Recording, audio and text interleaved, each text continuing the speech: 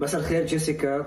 لي الشرف أطلع معك للمرة الثانية بفورتي آه، بحضور عظيم اخر آه، من بلدي آه، السر رفيق علي أحمد.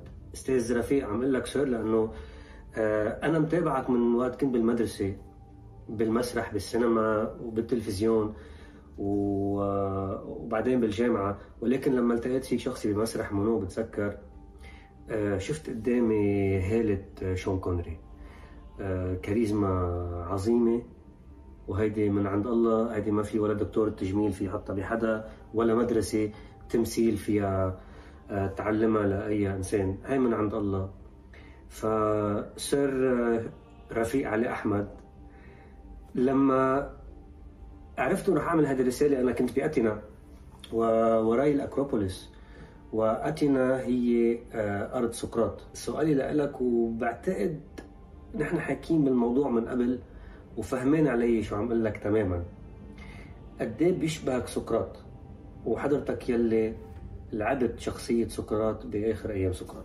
كل الحب لك تحياتي لك تحياتي لكم الممثل سعيد سرحان هالموهبة اللي سطعت بلبنان سعيد سرحان ضوى نجمه. أه قال لي يوم من الأيام أستاذي يعقوب شدراوي. قلت له بدي أشتغل بالتلفزيون يا أستاذ يعقوب.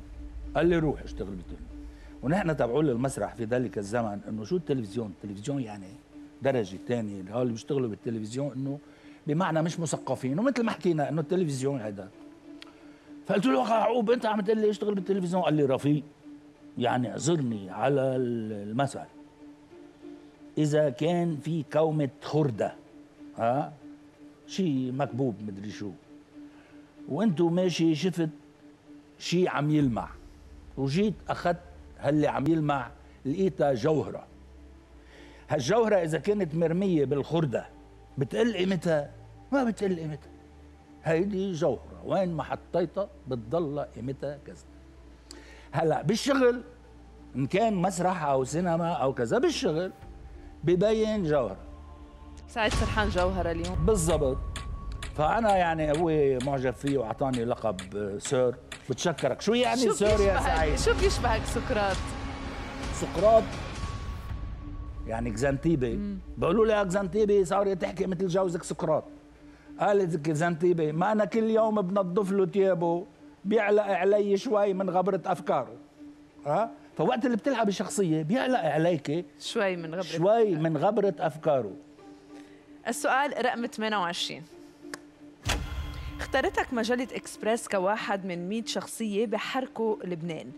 بس هل فعليا قدرت حركت لبنان أم فشلت بهالمهمة؟ آه، مجلة الإكسبريس الفرنسية لقيت في كمان مجلة time out قالت رفيق علي أحمد من الأربعين اللي بيعملوا مدينة بيروت حلوة. مش حلوة جميلة مدري شو. okay هذا الشيء بيسعدني وبيفرحني. وكنت متوهم إنه إيه أنا هيك. لأنه أنا وقت كنت أخلص عرض تجي سيدة ها مش من الغربية ولا من الإسلام عم بعرض بمونو. فتقول لي إنه أنت جاي لعنا على البيت واخذت الأخبار من بيتنا حتى حطيتها على المسرح عن الأولاد والعائله الا لا هو من بيتي لأنه نحن اللبنانية بنشبه بعضنا يعني مع إنه في ناس بيحكوا فرنساوي أحسن من ناس وناس بيلبسوا أحسن من ناس وما بعرف شو.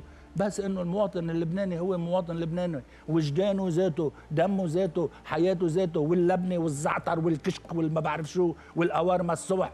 كلنا عايشين نفس الحياة.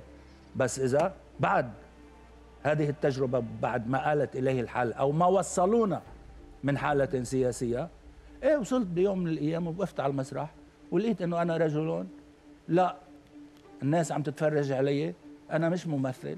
أنا مش فاعل بالمجتمع. أنا تحولت إلى مهرج. والمواطن اللبناني صار بده يجي على المسرح.